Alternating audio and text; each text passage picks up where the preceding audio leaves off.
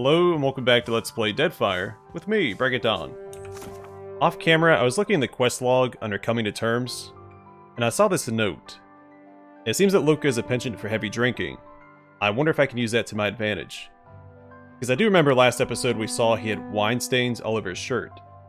So my first thought was we needed to go find a bottle of wine and bring it back to him.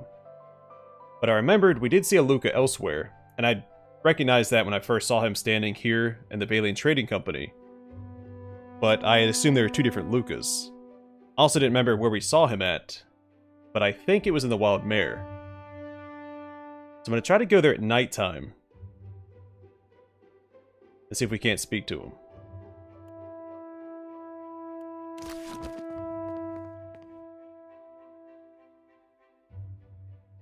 Some other option is to try to intimidate him, but I feel like that's going to cost us reputation with the Vailian Trading Company, mm -hmm. which is something I'd rather avoid if I could.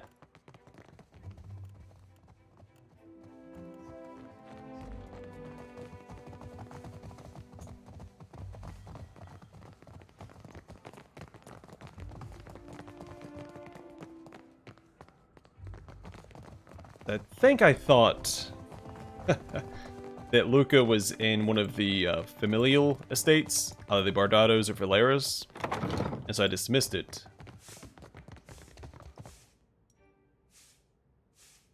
Will do. I think he was in the Wild Mare. Subtle indeed. It is done. I speak to Alessia Sarasso. Just a moment. The dwarven woman at the desk does not look yet look up. She taps at her chin with a quill in her hand, a look of furious concentration on her face. After a few moments, she scrawls something down in the ledger in front of her. There we are. So, did Alvari send you? I'm putting together the numbers. You will have to be patient. She glances up at you, distracted, then looks up again, blinking owlishly. Well, you're no clerk. Sientere, Watcher. I was preoccupied. Do not take it personally. They put me in this side office for a reason. Oleska Sarasso, advisor. And you are the Watcher that frightened the Harbor Master. Did you get turned around? I can't imagine what you'd want from me. Sarasso leans sideways to look past you, at the door leading into the hallway. How fares the company? I will not lie. Our fortunes dwindle. I must ask the director for some clarity on these figures. I cannot imagine why they are so low. What can I do for you today, Watcher? Who's in charge here? I only handle the numbers, sir. If you are looking for work, you should speak with Governor Alvari. Her office is downstairs, towards the back. With that, Sarasso nods politely and turns back to her work. Ado, Watcher. Governor Clario had many kind things to say about you. I have you here in the ledger. A net profit. What can I do for you today, Watcher? What do you do here? Put plainly, I am an advisor to the director. I keep the books in order and offer advice on the operations of the fleet. Profits, losses, all here. Rather than pointing at a ledger, she raises a hand to tap the side of her head. I have a better head for numbers than for small talk, I'm afraid. It isn't personal. It is nice to be asked, I suppose. I hardly ever get anyone in here unless they need help with their sums. I don't see why. You probably have the most important job here. That is true, but hardly anyone says so. Sarasso smiles, an earnest, amused smile that brightens her eyes and puts color in her cheeks. I have been lucky to reach this position. I enjoy the work, and it is clear that I am needed. Being useful. It is a good feeling. Can I ask you some questions? I can spare a few moments. What can you tell me about the Valera and Bardado families? Ah, them. Gods, they've been at each other's throats from the start. And ask if anyone cares one speck why it started. We should have left these feuds back in the Republics. The Bardatos are some of our most valued investors.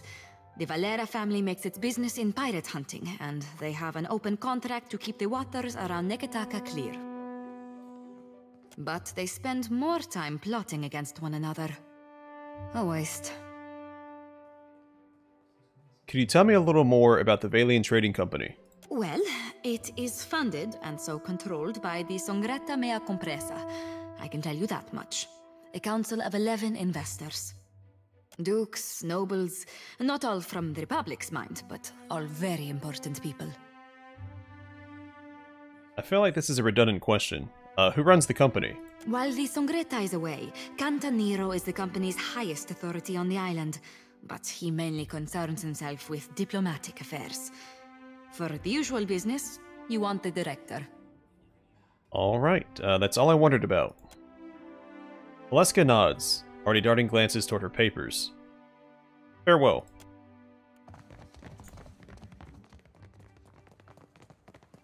She said the governor was in her office downstairs, but that does not seem to be the case. Apologies, but the director is not in. You have to return another time.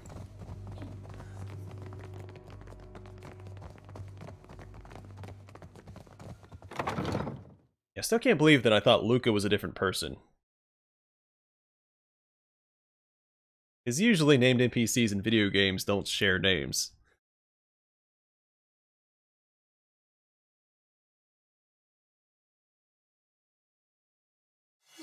That's unusual. I've got it.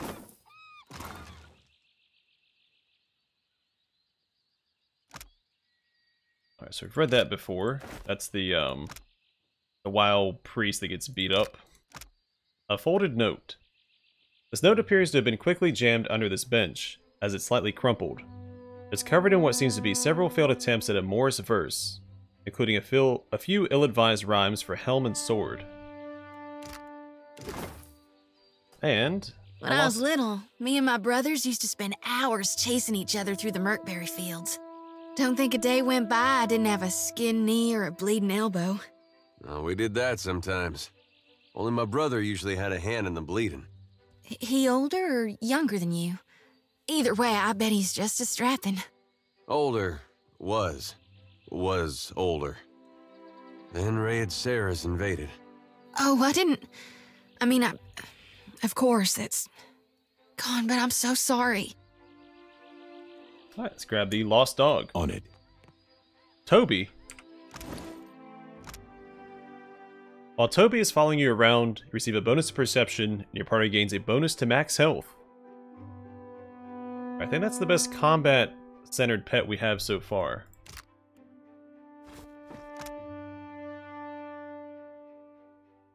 I don't know, the recovery penalty from armor being reduced is also good.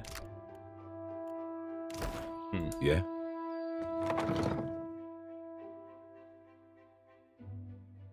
I know, but Toby looks more like a scrapper to me. Sure.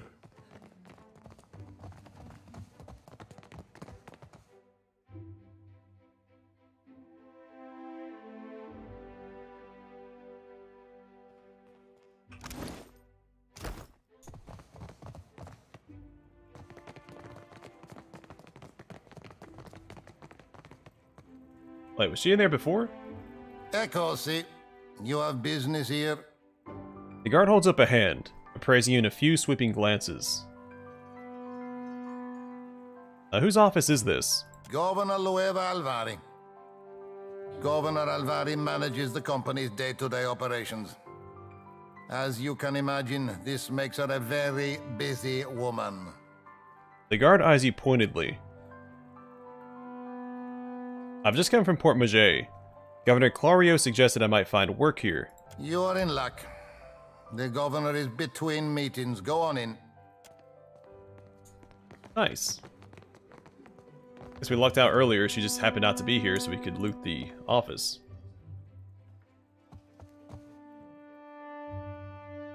Sitting next to her desk and lost in thought, Governor Alvari looks up at your approach. Her expression of intent focus thaws instantly, as she greets you with a startlingly sunny smile. An interesting surprise.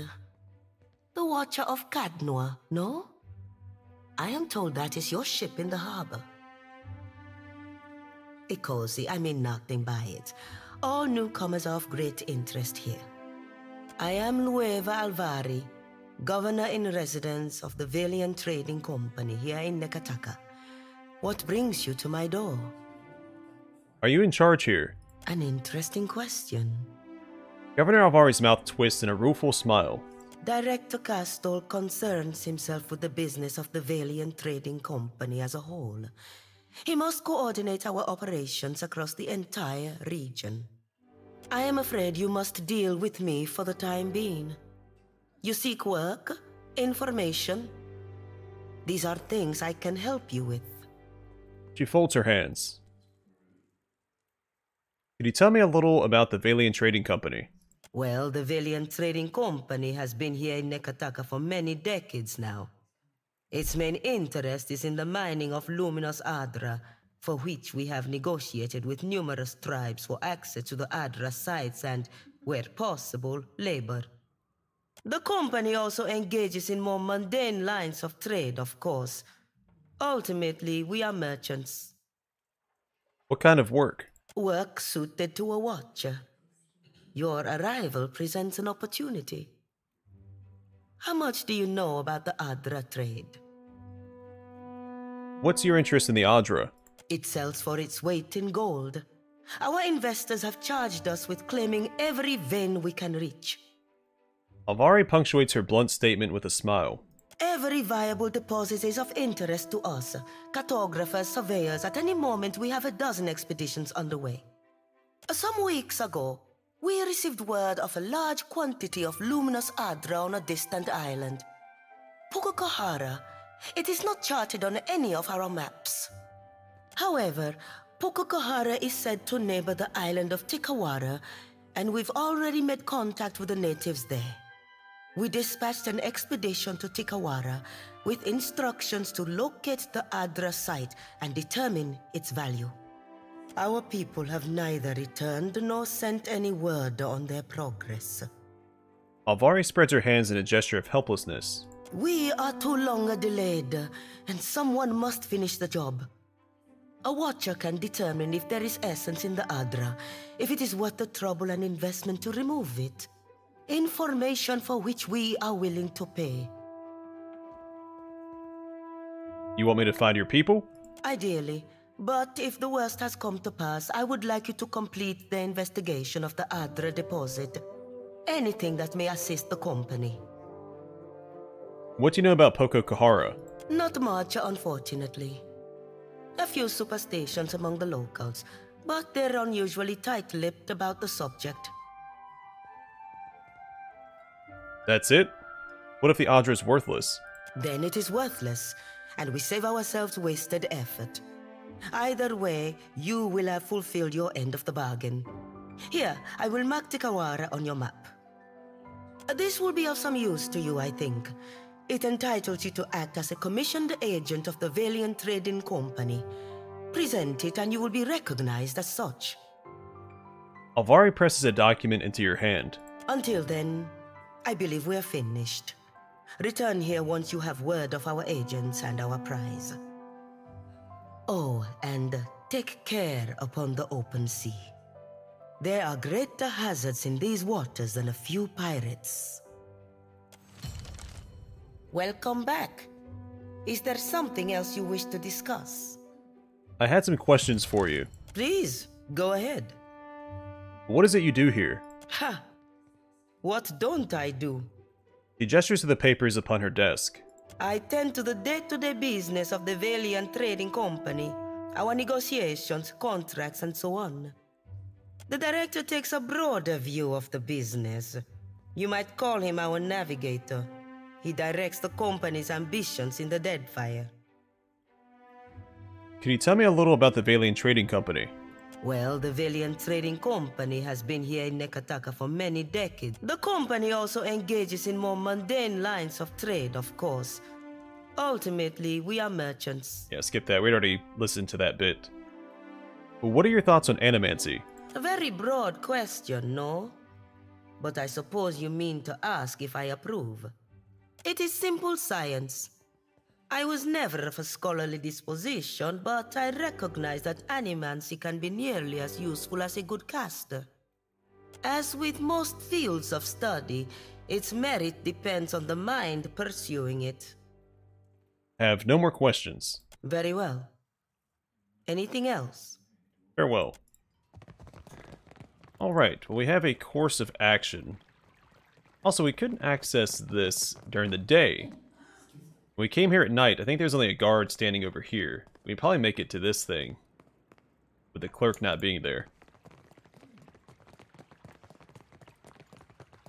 So, let's go wait till nighttime. We have a couple things we can try.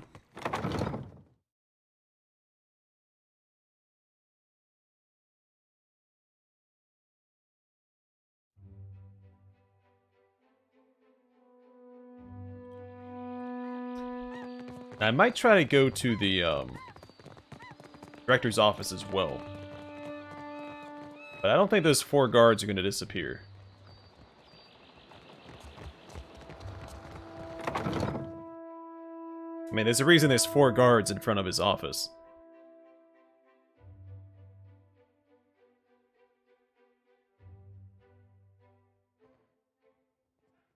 Now, be seeing you.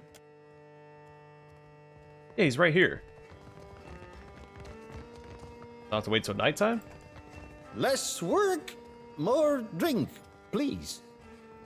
Enraptured by the bottom of his glass, Luke regards you with dim comprehension. Mel, you again? Shove off. These are my quiet hours. Observe Luca. Luca is undeniably intoxicated. His bearing suggests that this condition is far from unordinary. He seems open to suggestion, though not a pushover. See anything you like? I'm not so far gone that I won't ap appreciate an admirer. Luca attempts to wink, fails, and tries again with both eyes.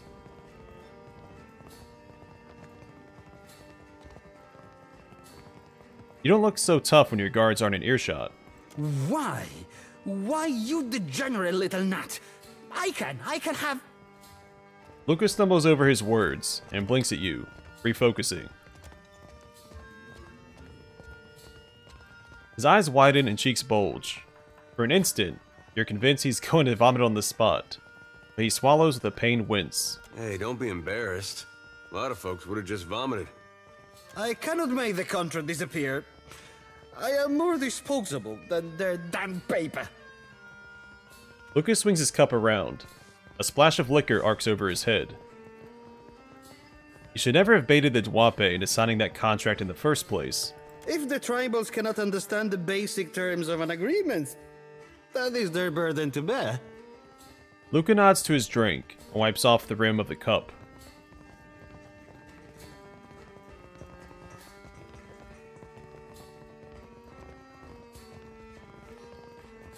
The Huana may not know contracts, but they know when they're being cheated. That, huh.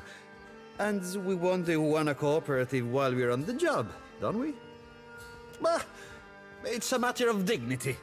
You can't ask a respectable clerk to ruin perfectly good paperwork. I like how it combines the different skills and dispositions. So we use both benevolent and diplomacy to be rational. The system is far more fleshed out than the first game. You would doom an entire tribe to preserve your dignity.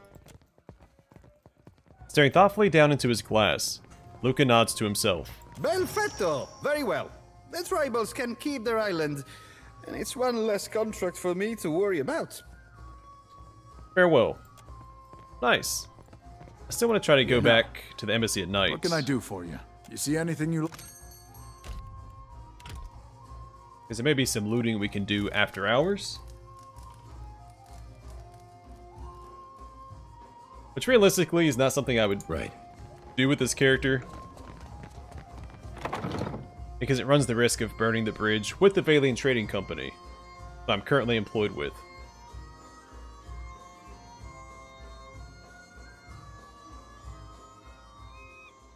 I really just want to go take a look-see. What did you do before you were a ship hunter? Ah, rough times, lass. Would spare you the telling, lest you be set on it. I reckon I can handle it. Crew I were with, they give me any job they thought like to kill me. I live to prove 'em wrong. can't live the good times unless you survive the bad. That what being a pirate's all about? Aye, sure enough. Besides, lasses say the scars be adding distinction.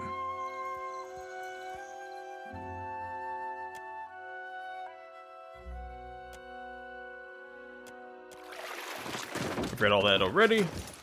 Up we go.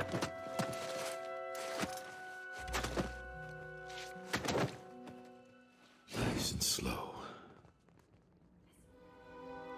Aye. Of course.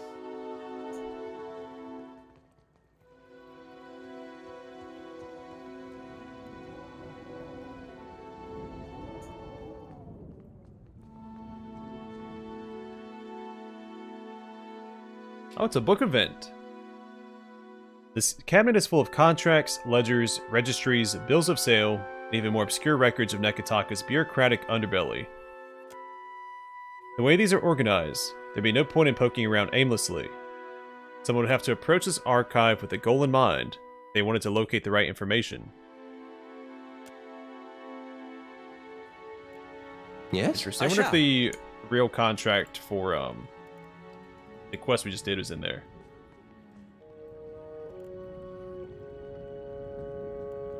Take it slow, because there could be a guard patrolling in here or something.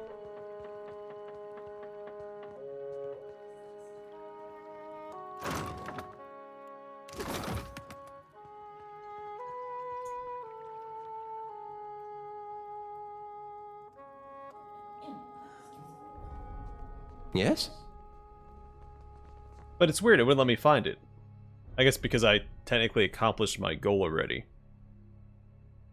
So maybe it's either or, not both. My eyes be open. What are you doing here? Uh, business took longer than expected. I'll be leaving now.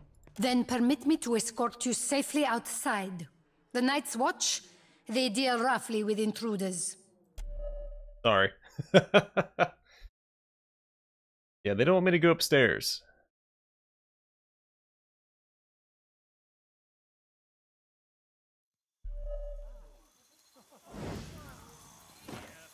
Adair, I get the feeling you don't like me much.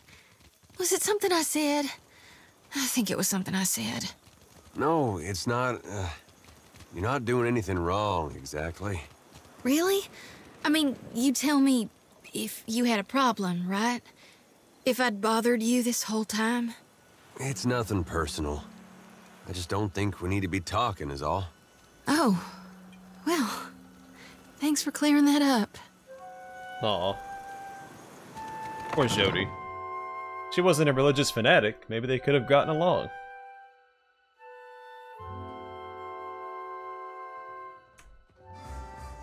As Now, far as uh, fanatics go, Can I you see anything you like? she's a little bit more tame than Durance. He's far more amiable.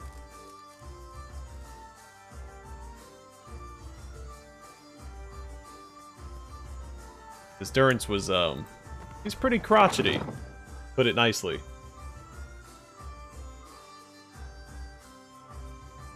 But a fantastic story. He was, he's a brilliant uh, companion.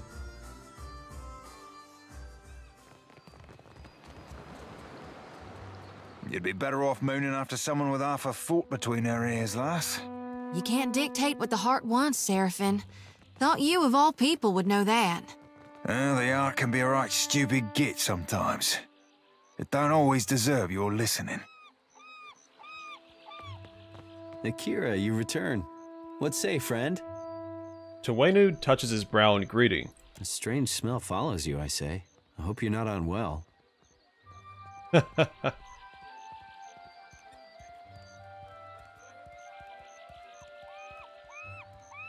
Aluka listened to reason. Dawape will keep their island. Akira, I cannot believe. A light after our long sorrow. His smile broadens, and Tawenu slaps his shoulder with encouragement. My village is modest, but I came prepared. I set aside a few gems for trading. They are yours by right. Yeah, absolutely not. How is that the rational? I guess... Okay, I see how it's rational. You assume that he has other money to pay for... Okay. But no, I'm not doing that.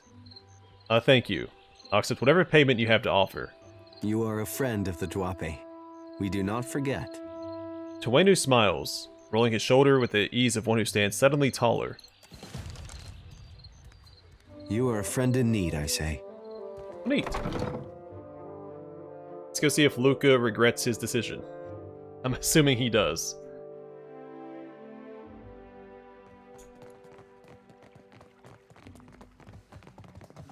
We lost an entire island. How did we lose an island?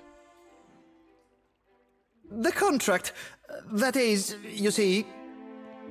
It'd be lucky if I send you back to the Republics, or if I just send you back. You! I hope you are pleased with yourself. Because of you, I've been stripped of my position. I've been with the company for years. I had my own office. Now I'm ruined. Oh, can I hire him on? There's work on my ship if you want it. What? You must be joking. You arrange for my dismissal from the company, then offer me work as a deckhand? I didn't arrange for that. It was just a side effect. It'll be more fun than contract disputes. I promise you that. I damn you, Watcher. But I accept. I will gather my things. Luca blinks, looking a little startled. Awesome. Uh, what does he do? Not a lot. He only has one point, where most of these other guys have two. Can I fire crew from the ship? If so, how do I do that? Throw them overboard?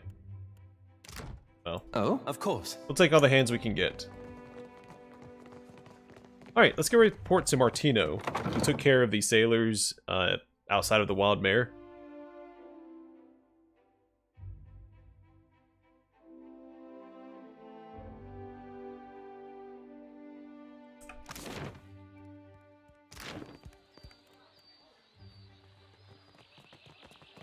How may I help?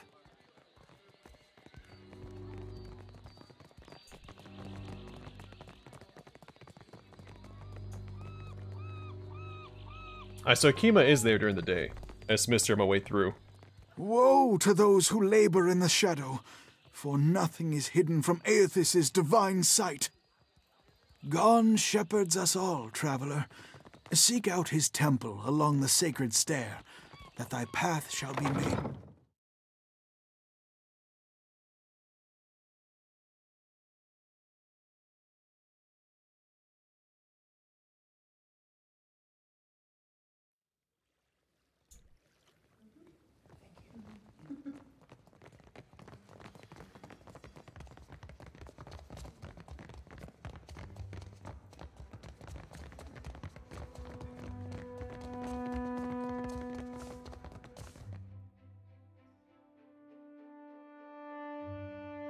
Also, I find it interesting that the Valera quest isn't directly tied to the Bardados, where the Bardados quest is directly tied to the Valeras.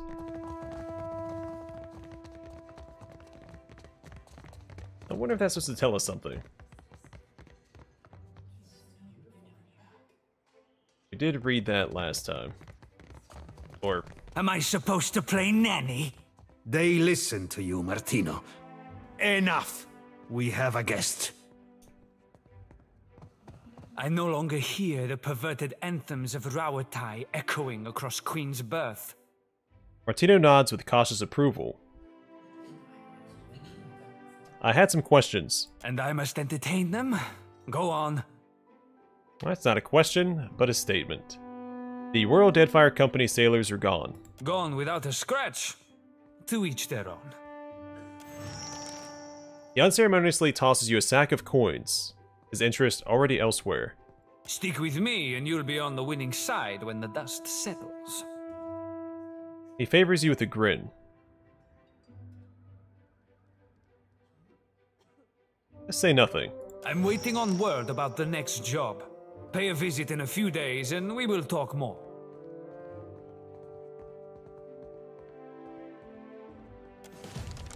Adu, What brings you to the Hall of the Valeres? Otello opens his palm. I want to talk to you about the Bardados. If we must. What is it? Frowning, Otello beckons you to continue. I think your family should consider a truce. Shoddery. Our disagreements are beyond the point of shaking hands. I'm surprised he says that, because he seems like the more reasonable one. This is not your feud. If anything, I question your interest. You're a businessman. You would know if my investment was false. Hmm. You have little to gain by peace between our families, but you speak as if you might. Otello purses his lips. You want to help? Convince Azali to negotiate. She ignores my invitations. Until then, leave me be. Otello turns away from you, intent on focusing anywhere else. So I feel like if I report to him that Azali knows they're planning something, which he's probably against in the first place, it's gonna favor them, and I don't want to burn a bridge with the Bardattos yet. I think if we do enough quests for both sides, we can convince them to come together. As long as we stop the plot that's against the Bardattos, we should be fine.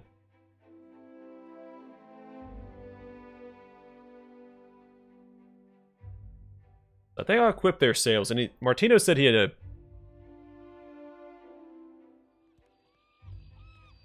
Another quest for me in a few days, I wonder if just leaving and coming back works.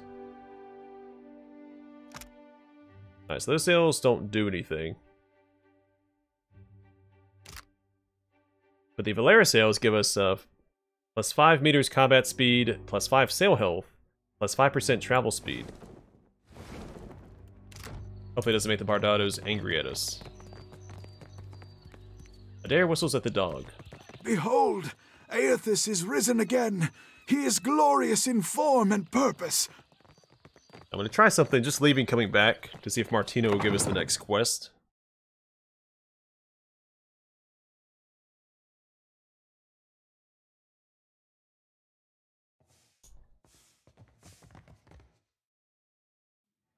If not, then we might be done with Queen's Berth for right now. I have to look back through my quest log to verify.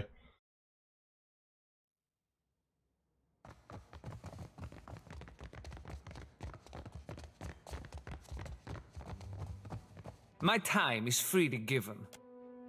Okay. Well, I'm going to call it here. Uh, next episode, I'll look through all of this off camera to make sure we're done, and then uh, we'll probably leave Queen's Berth. Continue exploring Neketaka. But for now, thanks for watching. Hope to see you guys in the next one.